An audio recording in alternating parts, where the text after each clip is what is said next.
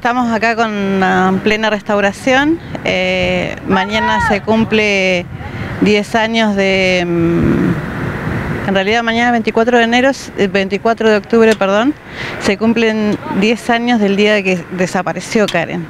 Eh, y el 26 de octubre eh, es el día que la encontramos asesinada. Sí, bueno, estamos acá con plena restauración del mural en memoria Karen, que ya se cumplen 10 años. Bueno, estamos en pleno proceso. Eh, ahora en estos momentos estamos, están los hermanos de Karen, eh, sobrinos, eh, gente del municipio que es la que colabora siempre en todas las restauraciones, están los muralistas. bueno, ellos son los que nos acompañan hoy, que son los que siempre están.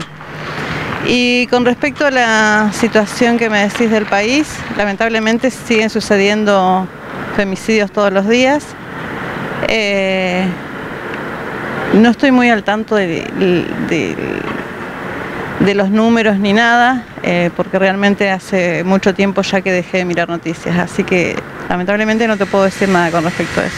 Bien. Pero es algo por algo personal que he dejado de mirar eh, todas estas situaciones que duelen mucho. En esto eh, también es parte del municipio porque gracias a ellos hoy podemos estar eh, restaurando nuevamente el mural eh, y con respecto a los hermanos y a la familia eh, se cumplen 10 años, van a cumplirse 10 años y parece mentira, parece que no pasaron 10 años, todo parece que fue ayer. Si bien uno continúa con su vida, trata de continuar su vida con, con este dolor, de tratar de sobrellevar este dolor, que siempre en ocasiones especiales como ahora, eh, el dolor es como más latente, más...